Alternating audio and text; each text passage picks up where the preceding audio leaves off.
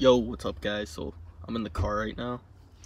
Uh I'm just gonna give you guys a little update like of my channel and shit.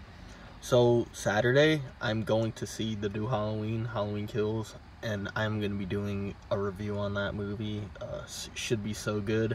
Like I'm so pumped right now I can't even like describe to you guys like man that's gonna be a hell of a movie. So I'm gonna be reviewing that as soon as I get home. I'm not gonna give spoilers or any of that as I already explained in my last video. I'm just doing a little update right now. Um, so my next review will come out tomorrow night on Halloween Kills. Should be an amazing movie, I'm expecting. Um, the last one from 2018, that was a good movie, and this is its follow-up. Like, this one continues right after that one. So, should be good. And then I'm gonna do more movie reviews this month.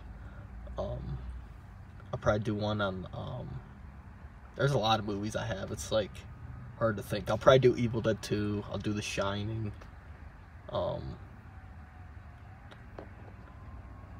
and whatever else I got. I'll have to scramble through all my movies. Um, cause I have a lot of, I have a lot of movies.